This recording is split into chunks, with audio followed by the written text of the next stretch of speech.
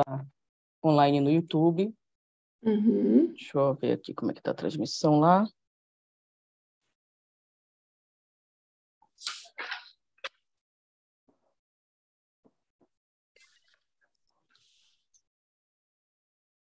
Pronto, já estamos.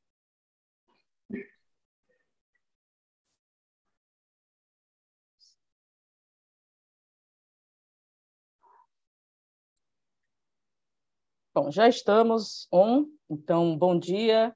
Uh, vou, uh, você quer falar em inglês ou quer falar em português, Maria Amélia? Eu posso, eu até perguntei para Maria João, eu posso falar em inglês, porque os slides também estão em inglês. Ok, sim. So, uh, greetings everyone. Welcome to the Celebrate Women in Mathematics, the last day of the online event. In this year. I'm going to, to talk some words about our project and our websites. Uh, I would like to, to share with you all. We have some websites about the dynamic women and the celebrate women in mathematics that are um, devoted to um, the visibility of women, mathem women mathematicians. Uh, it's a great pleasure. It's a great work, hard work to, to do this, but we are uh, so proud to introduce to you this website. This one, the first one that I'm going to show here is the, the Dinâmicas im.ufrj.ufrj.br. That is the website hosted in the Federal University of Rio de Janeiro. This is the first one uh, that we have um, talked about. And we have um, English version too. But now we are uh, proud to, to announce that we have two more websites, one of them called Dynamic Women, Dinâmicas, that is uh, outside from Federal University of Rio de Janeiro um, domain, is dynamicwomen.com.br. This is devoted to uh, women mathematicians, in particular dynamic dynamicists, women in math.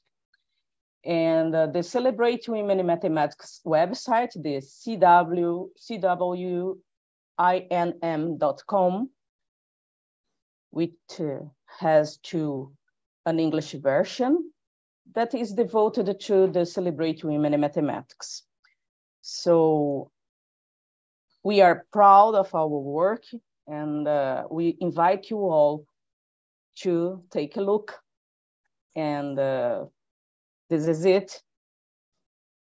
I'm going to start our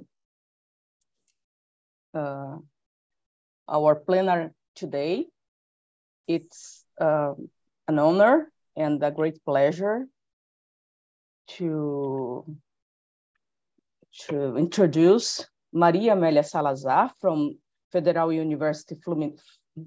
Federal University Fluminense.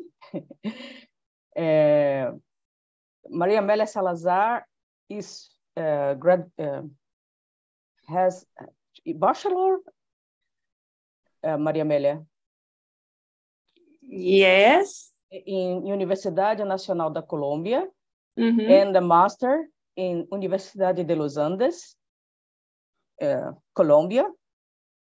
He he got a PhD in University uh, University of Utrecht in um, I the don't know the Netherlands.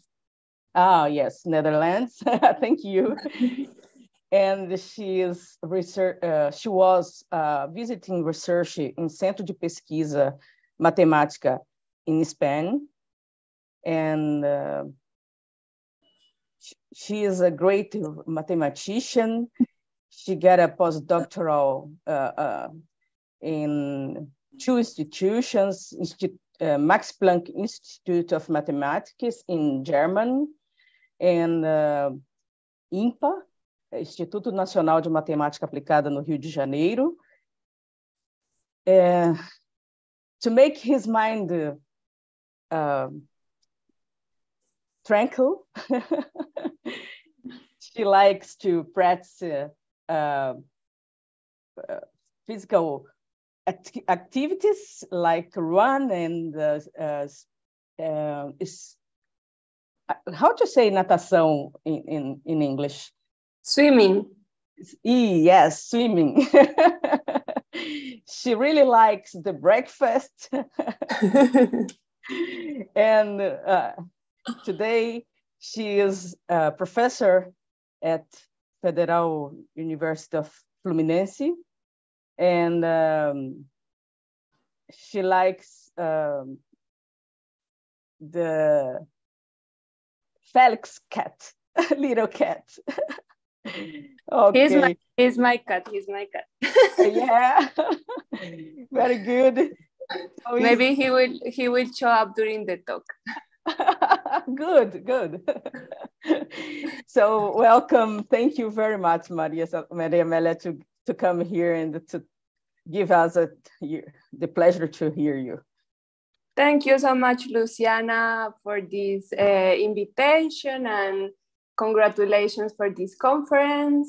Uh, it's really nice. I'm very glad that, the, that you invited me and to be part of this, of this event. So, okay, so let me share the, the screen. Let's see.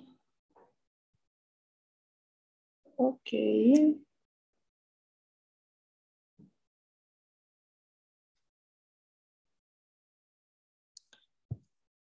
Okay. Now we can see, I guess. Okay, so let me, so I'm going to talk about um, um, the fundamentals of Lie groupoids and Lie algebroids. And uh, so, so this has to be with Lie theory. Lie theory is a very well-established and popular theory, theory that studies the connection between groups and their interactions with uh, differential geometry and their infinitesimal uh, counterpart, which are called Lie algebras, and all the and all the say the theory that lies behind Lie algebras, which is representation theory and so on. Okay, so this is a so so why is Lie theory so like a, a popular and well-established area is because I mean one of the objects in mathematics or the, the, the objectives in mathematics is to make bridges between areas, right? Because this brings a very rich and powerful uh, tool somehow that you can connect from, from one uh, area to another area, okay? So, so to start with, the, with this story, um, what happened is that uh, initially Lie theory has its work in the in the has its roots in the work of Sophus Lie when he was studying uh, symmetries symmetries of PDEs. Okay, so and and and this was somehow the the um, he he gave rise to the notion of Lie groups. Okay, so this study of symmetries of PDEs was somehow hiding the main structure of a Lie group. Okay, so we can think that groups appear as the abstract notion of continuous symmetries of a space. For example, if you think about the sphere that I'm showing here, uh, you can look at the symmetries of this sphere or be more precise and look at the symmetries or linear or transformations that preserve the metric and the orientation. And what you see is that these transformations are precisely the rotations along an, some, some line, okay? And okay, so you are not only uh, interested in looking at this space, the space of symmetries, but also on how the symmetries interact with each other. So this kind of multiplication, when you compose one symmetry with another symmetry, you would really like to understand um, the, the, the, all the, the, um, the notion or the um, interaction that they have. Okay, so for example, when you study this rotation, you discover the group SO3, okay? Another example is what I was mentioning, if you start to look at symmetries of a PDE, okay? and this is the uh, initial work of, of Lee Cartan. He was looking at PDEs, okay? And in order, uh, a destacar, reactivar mi. No. Sorry. Uh, okay, so uh, there was a message showing up in my screen, sorry. Uh, okay, so in order to understand somehow this, uh, this PDEs, what he started to do was to try, trying, he was trying to understand the symmetries of, of the PDE. What, what, what was that? So the symmetries of, of a PDE, you can think of them as uh, transformations or change of coordinates, okay? So that in the new coordinate, in the new coordinates, you still have the PDE. Okay. Um, okay. So now Lie groupoids appear in very natural examples, and you can think of them as describing generalized symmetries. For example, if now you look at the sphere, but you remove the north and the south pole, and you look again at symmetries that preserve the, the metric and the orientation, you realize that now that you don't have these two points, then there are very few symmetries. Okay, you can only rotate along this axis, but you cannot only uh, you cannot uh, rotate anymore along any other axis, axis because then this is not globally defined. Okay, so you still have somehow uh, if you look at the global object, you, you have few symmetries, but if you look locally, then you still see a lot of symmetries, okay? So when you pass, when you realize that the symmetries are only locally defined, you are now in the setting of Lie groupoids, okay? So for example, here, the groupoid associated to, to, to these local symmetries is the following. These are made of arrows, okay? And two points, P and P prime, are connected by an arrow if there is a rotation in the, in the sphere, sending one point to, the, to this uh, other point, okay? Of course, this rotation might not be globally defined, but this set that I just defined is perfectly, I mean, it doesn't have any problem. It's, it's perfectly defined. So you take two points are joined by an arrow if there is a rotation on all the spheres, sending this point to the other one, okay? And you realize that if you have two arrows, one connecting P and P prime, and another one connecting P prime and another point, then you will get an, a, a third arrow, okay? This one that I pointed here, which is what? Well, these two points are just uh, joined by the composition of the, of the first rotation and the other rotation, okay? This is again a rotation in, uh, in, the, in the sphere.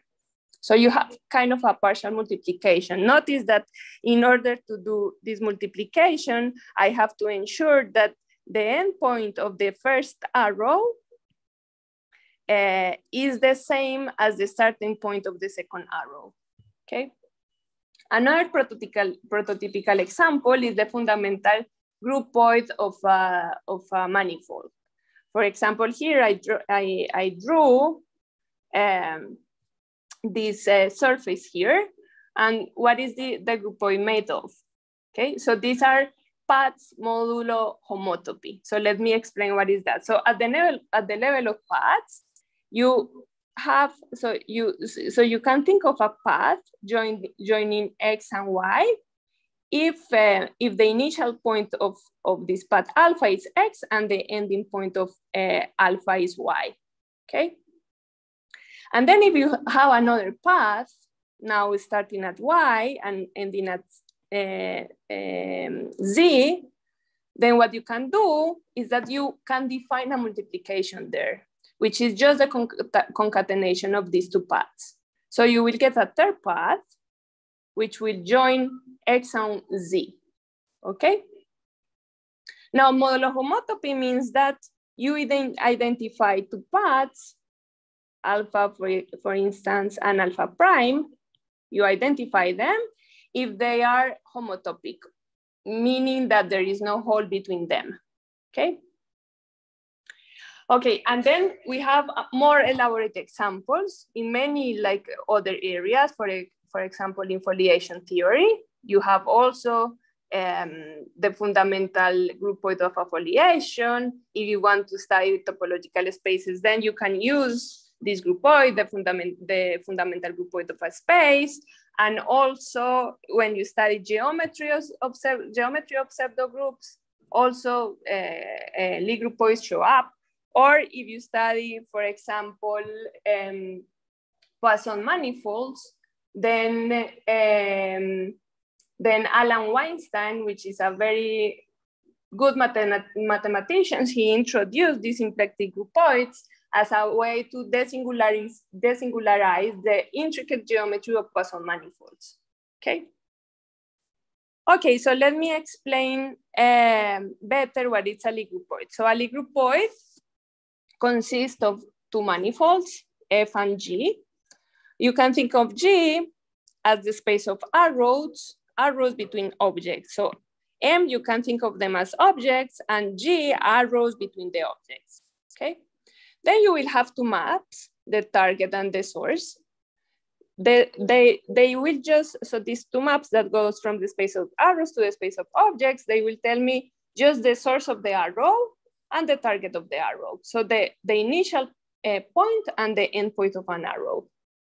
And then of course you will have a partial multiplication, which is defined in pairs of arrows so that the first arrow ends at the initial point of the second arrow. Then there you can multiply them, okay?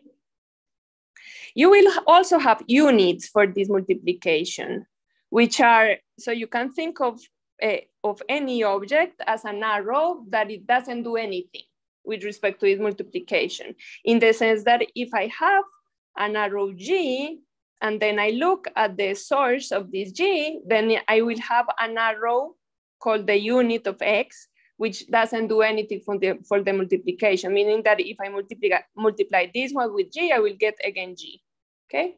And then I will also have inverses for this multiplication. So all this map, because I'm in the world of, of Lie somehow, this these all these uh, spaces are smooth or continuous. If, I mean, they are, yeah, smooth. And all these maps are also smooth, are say infinity uh, differentiable. And uh, also here, I assume a condition which is called uh, surjective submersions in any case.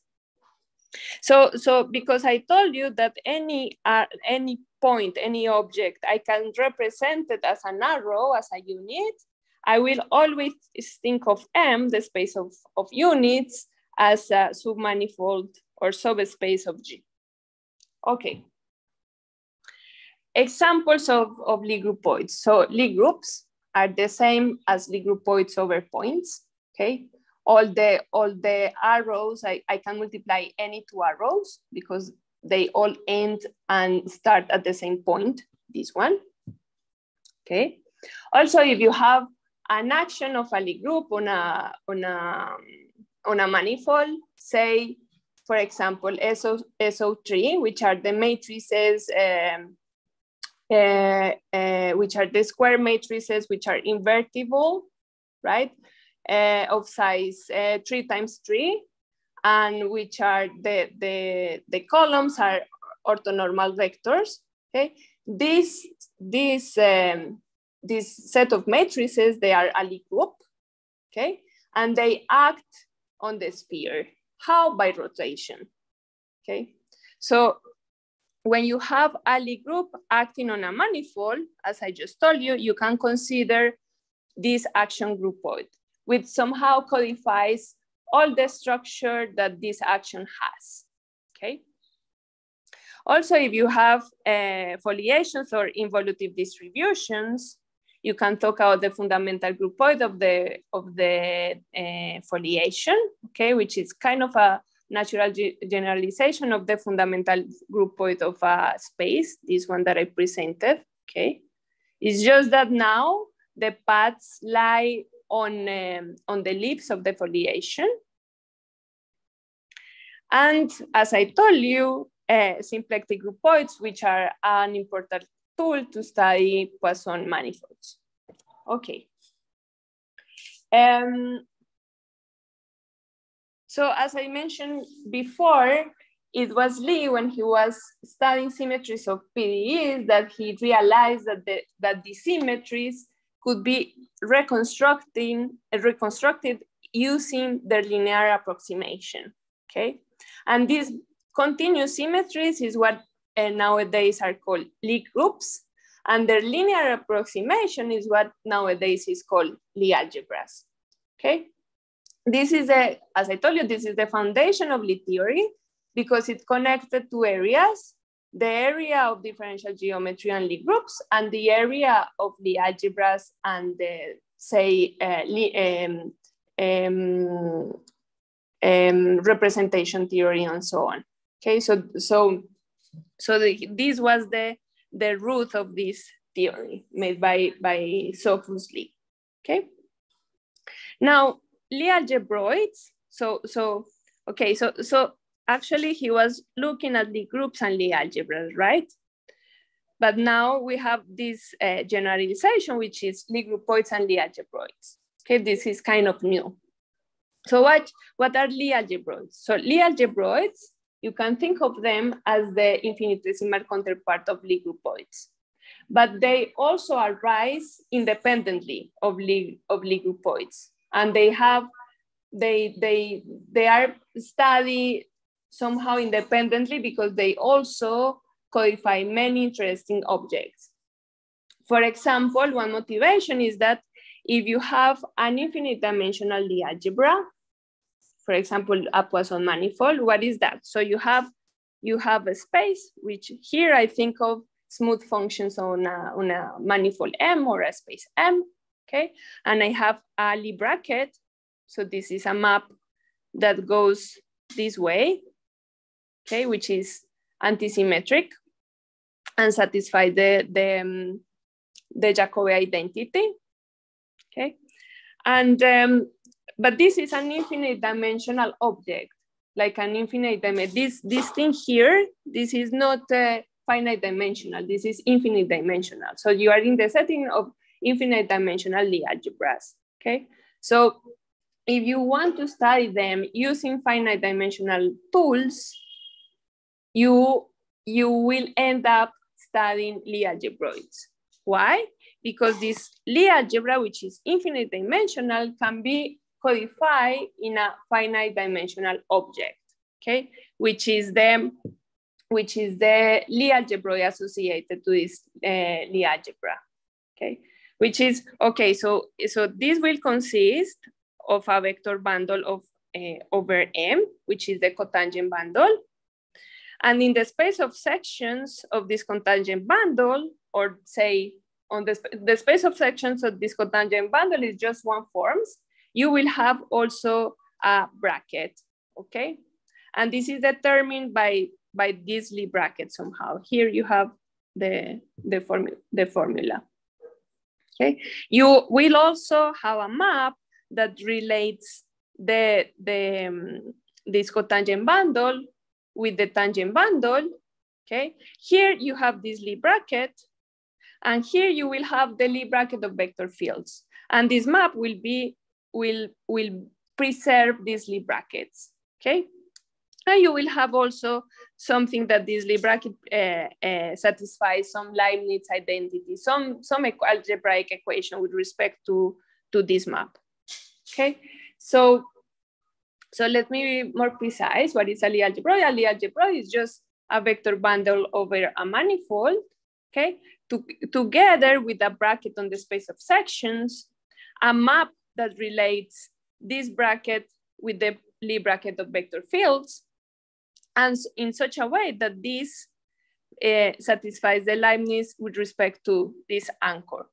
So this saying this somehow is telling you that this algebraic structure, it, it also has like some geometrical um, meaning or um, um, yeah, it has geometry behind, okay?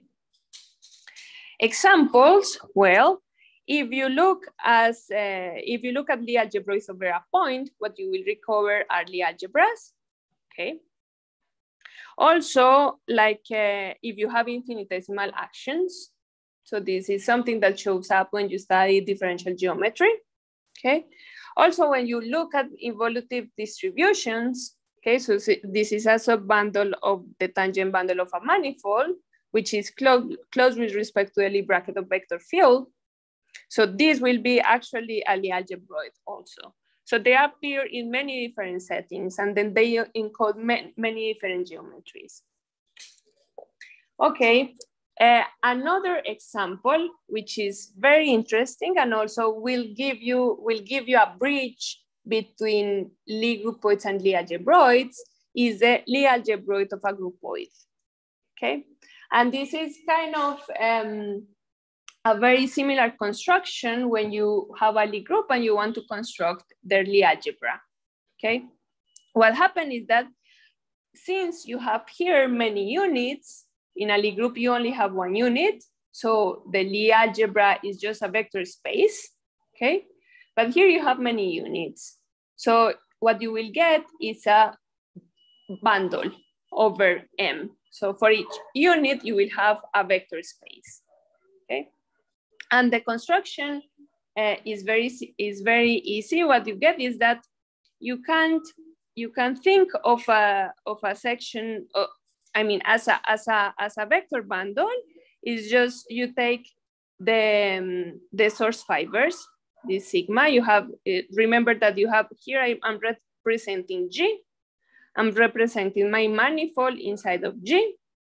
Then you have the fibers of the source which are these maps that goes from G to M, and the target, right? The fibers of the target, okay, that I'm representing like this.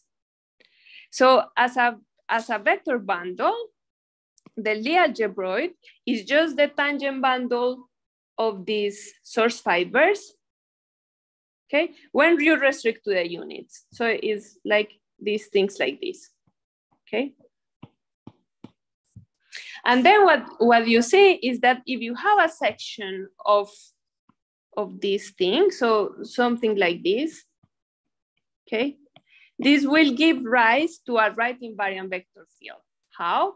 Well, if you have something here and you have a point G here and a point on, the, on my groupoid, what I can do is that I can right translate using the multiplication of my groupoid I can right translate this arrow to this one, okay? So if I have this, uh, this section, I can use right translation to produce a right invariant vector field on my groupoid, okay? And when I have this, you can check that uh, the Lie bracket of vector fields on G restrict to this subspace, okay? So as soon as, as I have this identification, I can endow this space with a Lie bracket, just transporting this the bracket of vector fields via this identification to this side. Okay. Um, uh, so let me give you more examples or examples of this construction. If, if you have a Lie group and you look at the Lie algebra, remember that a Lie group is a special case of a, a Lie groupoid. Then if you think of your Lie group as a Lie groupoid and you look at the Lie algebroid, you recover actually the classical notion of the Lie algebra of my Lie group, okay? Also, if you have an action groupoid, uh, so, so, so a, group, a Lie group G acting on a manifold and you look at the action groupoid, now you compute the algebroid and you recover the, the action algebroid, which is just the infinitesimal action. Okay, I'm just drawing some examples. You may recognize some of them, some of, of uh, other examples you may not, but yeah, I can I I I'm just pointing out that uh, there are many many very interesting examples showing up when you study this theory. Okay. Also, when you have a, a involutive distribution, um, and um, and you look at the foliation induced by this involutive distribution, you compute the fundamental groupoid, and then you look at the algebroid, you get back your foliation. Okay. And if you have a symplectic groupoid and look at the Lie algebroid, what you will recover is the Lie algebroid associated to a Poisson structure on N. Okay, so just to give you an idea, so um, to give you an idea, so, so I told you that uh, somehow Lie algebroids, you can think of them as encoding infinite dimensional uh, Lie algebras, okay? So you may wonder if they have associated an infinite dimensional Lie group, as in the case of Lie algebras or finite dimensional Lie algebras. Okay, and what happened is the following. If you have a Lie algebroid coming from a Lie groupoid, as in the construction that I just explained, you can think you can you will have a Lie group, a Lie group, okay, associated uh, to this Lie algebra, which, which, which is as follows. So you have you groupoid with Lie algebra this one, right? And then you can look at the space of bisections. What is the space of bise bisections? These are maps from M to G such that they are, they are a section of the source and also of the target. Okay, this is the equation somehow to make sense of what I just said. And when you have this space, you will have a multiplication, okay? I put here the formula, but in any case, you have this multiplication. And then, okay, so this space is infinite dimensional, but you can think of it as, the, as an infinite dimensional Lie group with Lie algebra, this, this one here, the sections of my Lie algebra, okay? And I mean, you have properties, somehow this gives you an intuition and on how to deal with this object. Of course, you can go to the infinite dimensional setting and make this more precise. But in any case here, if you study just finite dimensional tools, it's okay because this will give you an intuition. For example, if I have a path on this space of bisection starting at the unit, if I differentiate this path, I will get a section of my algebroids, as it happens with the groups and, the, and it's the algebra. And also if I have a section of my Lie algebroid, somehow I can think of the exponent, expon, exponentiate this section to produce something on the Lie group, okay? And what it is, is, is um, so you look at the flow of the right invariant vector field associated to, to this section, okay? And this will give you, when you restrict to the manifold, this will give to the manifold M, this will give you a bisection of, of this one, okay? Okay, so this is just to connect with the story that I had before. Um, uh, what else? Okay, so so once we have um, one, once we have this, um, let me go back to the to the to this Lie theory. So to the bridge that you have between Lie groupoids and Lie algebroids. Okay. So as I just told you, we have this map. Given any Lie groupoid, you produce the Lie algebroid.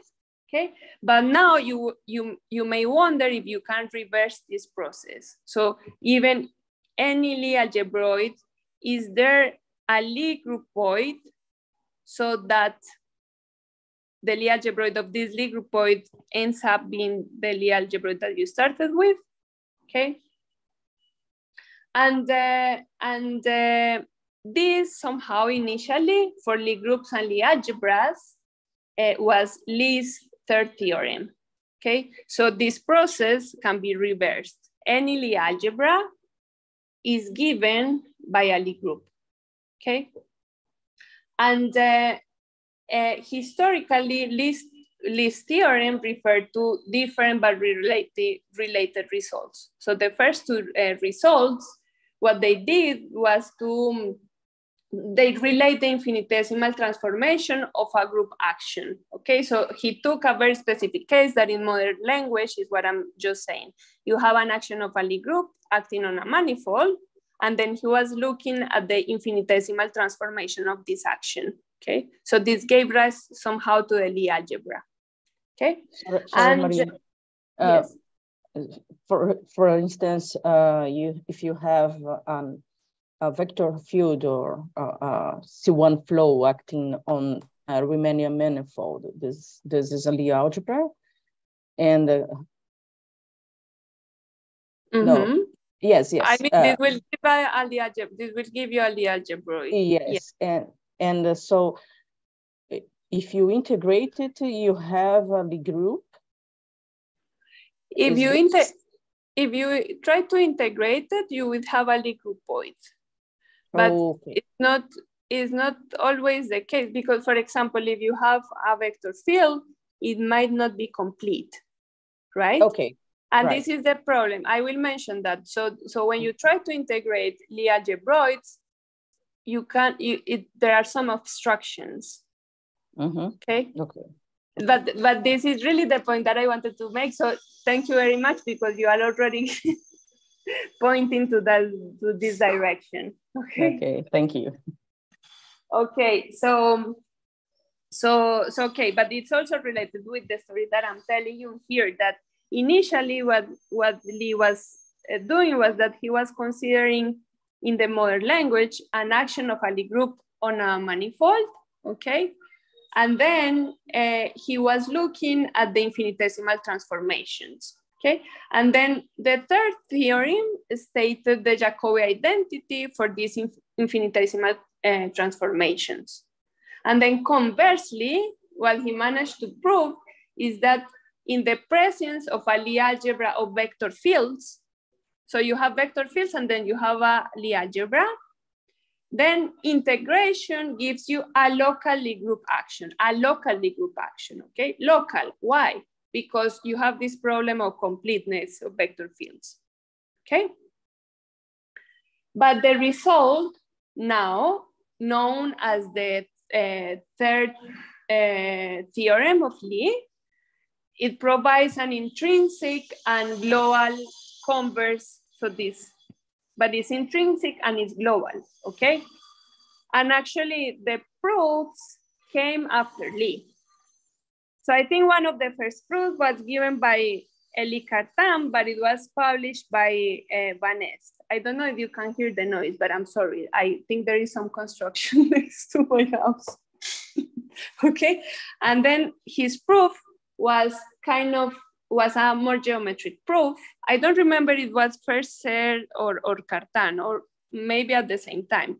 So this proof of, of Cartan was a, it has, it had a cohomological flavor and it involved the, the, the, some, some complex associated to the Lie algebra, okay? And it somehow, the, the, the argument is by induction on the dimension of the center of my Lie algebra, okay? This is kind of the idea. Then Serre gave an algebraic proof using Ado's theorem. Ado's theorem is super powerful and is very is highly non-trivial theorem what it says Ado's theorem is that any Lie algebra can be represented by matrices, by the Lie algebra of matrices, okay? So what he did was using this Ado's theorem, which is highly non-trivial, you have your Lie algebra, you can think of it as a Lie algebra of matrices, and when you are in matrices, you have the exponential of matrices, and the exponential of matri matrices somehow gives you an integration to a Lie group of matrices, okay? So you go like this, you have your Lie algebra, you see it as a, as a Lie algebra of matrices, and then you use the exponential to integrate it to a Lie group of matrices, okay? Um, and then there was the proof of Duistermaat and Kolk. And this was a more geometric proof and it's very constructive. You can really construct it. Okay, here, here these proofs, I think they are not constructive. They see, they say, yes, it is true, but they don't produce the Lie group, okay? This one was very constructive and um, what he did was that uh, the Lie group integrating a Lie algebra is built as a quotient of, um, of, of the space of paths of my Lie algebra. So this is an infinite dimensional Banach space, and then he mod he took the quotient by some equivalence relation and produced something finite dimensional. But this was somehow very, very, very good because it was very influential for Lie theory since it gave, it gave the idea to generalize this construction that they gave to the case of Lie algebroids and Lie groupoids. Okay, so let me tell you a little bit about this, uh, about this, um, about this proof. So think that you start with a Lie group, just to give you an idea. You start with a Lie group, okay? And then you have paths in your Lie group, this set, so that they start at the unit, okay? Now in this Lie group, you have concatenation of paths. How? Well, think that, okay, I have G1 that is a path like this. And then I have, this is G0, sorry, and then you have G1. Okay. What I wrote here is a kind of concatenation, what, what it, and it does the following. So you are in the Lie group, so it, it ends at some point G. So um, yeah, let, maybe G is not a good name. So it ends at some point of, of my Lie group. What I can do is to use right eh, to use uh, the multiplication to translate this path here. Okay, so at the end, what I have here is this concatenation. Okay, so you have kind of a multiplication there. Let me delete this. Okay, so you have this multiplication at the level of, of paths. And then in these paths, you have this equivalent relation, which is just normal homotopy fixing endpoints.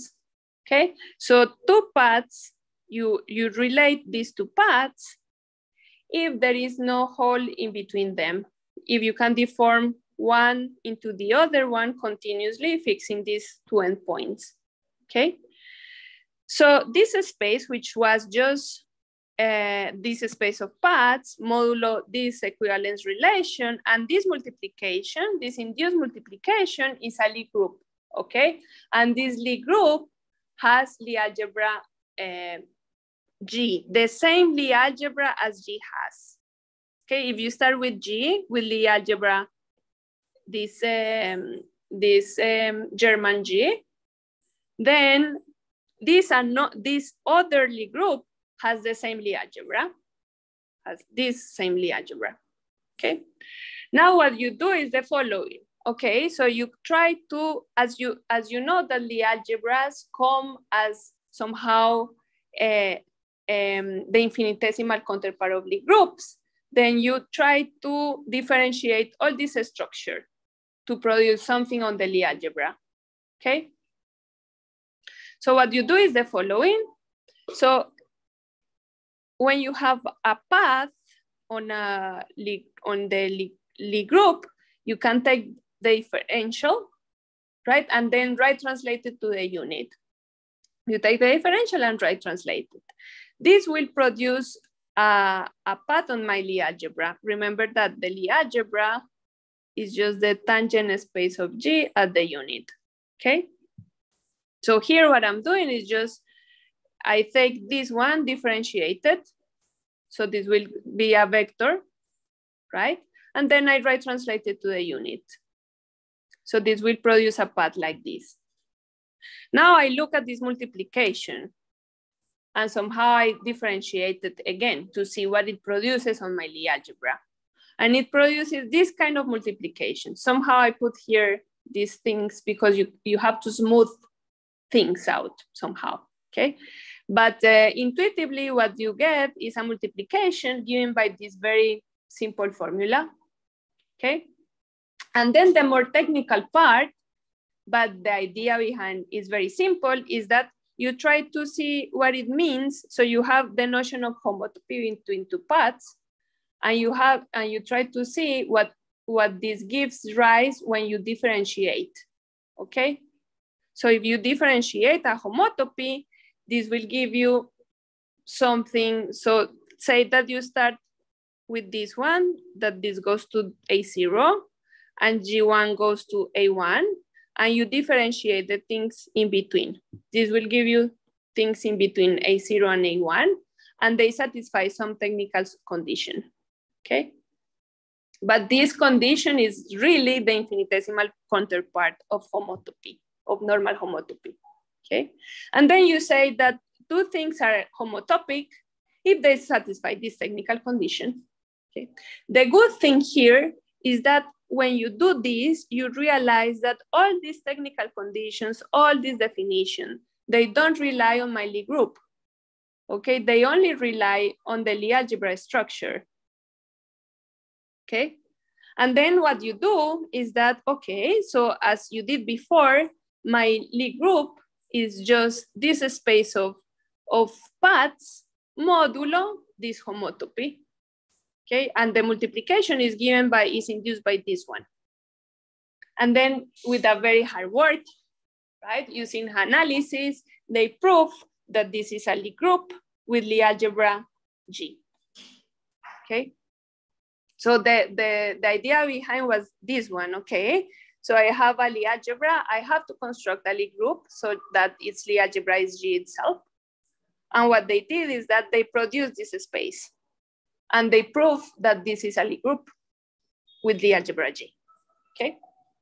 This was kind of nice. Let me see the time, still have some time. Okay, um, now let's go back to integrability of the algebroids. For the algebroids, things break, okay? It doesn't work, it doesn't always hold. So if you start with a Lie algebroid, it is not true that it always comes from a Lie groupoid okay? There were some partial results initially. This was very, like hardly studied. They were partial results and for some type of Lie algebroids, they managed to construct by hand Lie groupoids so that they so that they you have this correspondence. And initially it was thought that this arrow worked.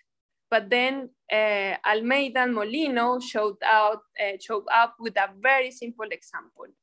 They managed to construct a Lie algebroid. Okay, so they took S times S2, they took these two form on, on this manifold, which, which this is the standard form on S2, which is if you take two vectors tangent to, to, the, to, the, to the sphere, then sigma uh, evaluated that these two vectors is just the area of the parallelogram made out of these two vectors, okay? So they, they constructed this, this form and in this space, they defined a Lie algebroid structure. Here is the bracket, okay? And working, uh, I mean, the argument is super simple. I will not explain it because this uses somehow the theory of principal bundles bundles is a bit more technical, but for people that know principal bundles, showing that this is no, that this is a not integrable algebroid is super simple, okay? Okay, but okay, so so actually then came Crainic and Fernandes. They they published a beautiful paper in Annals, and they understood completely the this obstruction, the obstruction here. Okay, and the obstructions were of uh, were of topologi topological nature somehow. Okay, what what happened was the following. So they mimic the proof of of Duistermaat, they produce this, this space of paths, modulo some homotopy, and they said, okay, if this smooth was this, if this space was smooth, then it was a, then then it should be a Lie groupoid with Lie algebroid, my uh, the the initial Lie algebroid. But the problem was the smoothness, okay, the smoothness of this quotient, and they managed to to describe the obstruction for the smoothness in a very concrete way. So they have these uh, very somehow concrete uh, obstructions given only in terms of my Lie algebraic data. Okay. Um, uh, so I think I will, um, so I have like five minutes or something, right? Yes, yes. Okay, so but so now that we know that uh, we have obstructions for Lie groupoid, for the integration of Lie, algebro, uh, of Lie algebroids, one can relax the notion a little bit. So here in this side, you have Lie algebroids, and in this other side, you have local, local groupoids, okay? As Luciana was saying, was mentioning, when you try to integrate a, a, a, a vector field, you may find a problem is that the flow, the vector field might be not complete, so the, the flow is not globally defined, okay? So this gives rise the, the, the, the word local. So locally you have something, okay? And what are locally groupoids? Are this space of arrows, this space of objects, it's just that the multiplication is locally defined, okay? It's not defined everywhere, it's just defined near the units, okay? and all the structure is defined only near the unit. But if you, your uh, vector field is complete, you have a Lie groupoid. Yes. Yeah. Okay. Okay. Thank you. Yeah. Okay. So so this is the so this is the the what I was saying here. All these structure are defined on a neighborhood of the units. Okay. Ex examples. this is the example that Luciana was talking about. Oh, I'm sorry. I had I had the spoiler.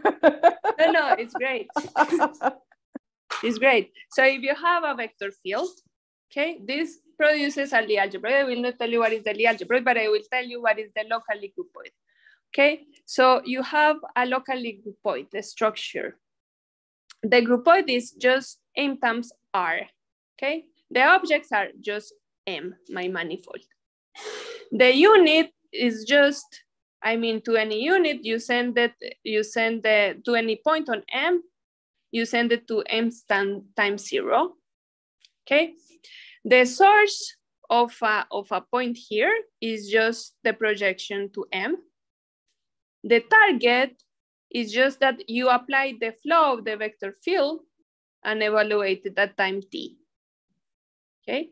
And the multiplication right? You have, if you, if you multiply two arrows, they have to be of this form, right? And the multiplication is just given by S by, by these times, the, the sum of the times, okay?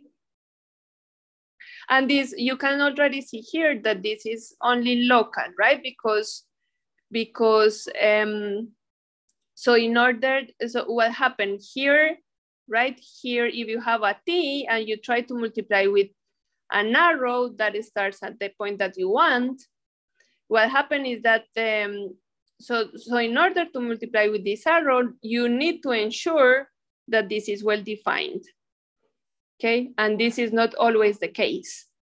So this is local. And this is a Lie groupoid if and only if X is complete, okay?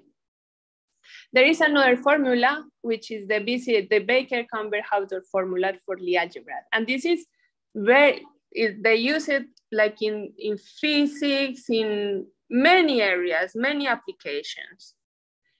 And it goes as follows. So this is kind of the, this is derived from the, from the, from the construction of Duistermaat also as well, okay? You have a Lie algebra and you really want to produce a, cons a, a, a Lie group, but it, you really want to have something constructive, okay? Everything explicit. And you you manage to produce something local, okay? And this will be uh, an open set of G around the, the zero of G, okay? In this Lie group, the unit is just the zero. This, this is a vector space, right? So it's just the zero. The inverse is just minus x. And the multiplication is given by a, by a series, okay? But what you use is just, if you want to multiply this, you use x, y, and brackets of, the, of these two objects. And you somehow take more brackets of these type of things, okay? And of course, why is this local? Because this converges only if x and y are small enough, okay? Another way to, to see this BCH formula is very interesting, is the following. So suppose that your Lie algebra is the Lie algebra of a Lie group, okay? Then you have the exponential map, right?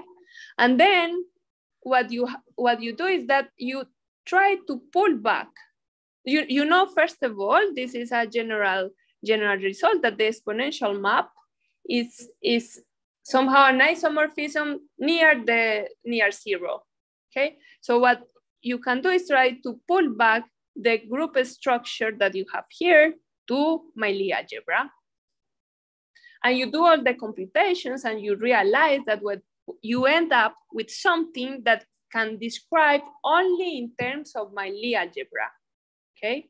After you do some work, you realize that everything can be described in terms of the Lie algebra. But the idea is this one, pull back the structure using the exponential map. Okay, so oops, uh, just to finish, um, um, I just wanted to mention that we have some work with uh, Alejandro Cabrera from UFRJ and Ioan Marcut. It was published in 2020. And what we did was actually in this setting, we managed to produce this arrow and the, the construction was very explicit, okay? It was really like it, if you started with a Lie algebroid, what you have to use was somehow something that is called a spray. It's a vector field of my Lie algebroid, which generalizes the notion of a spray of a Riemannian manifold, okay?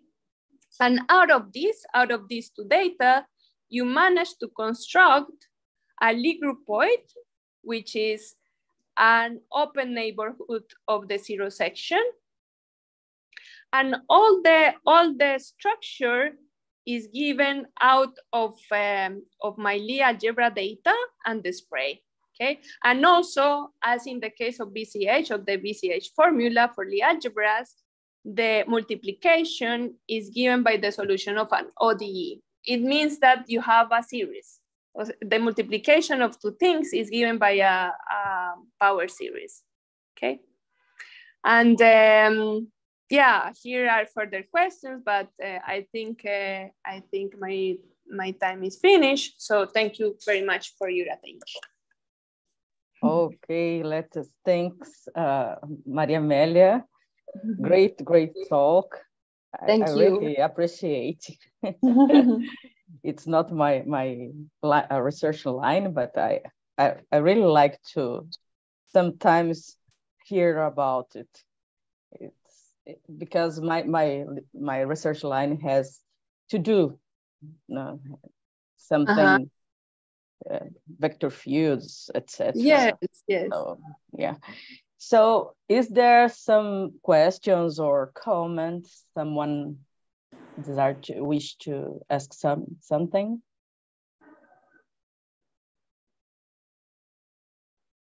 no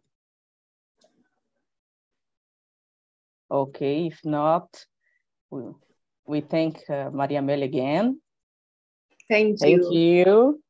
Thank you, we are, we, we are so proud to have you here. I think no. that it's good. yes, I, I like very much your your your talks. Thank you, Lucia. Uh, yeah. So we are going to draw a, a, a gift. It's a book let me see the name of the book. Oh, that I have not um, is an offering of uh, Brazilian applied in the computational Brazilian society, mathematical society. And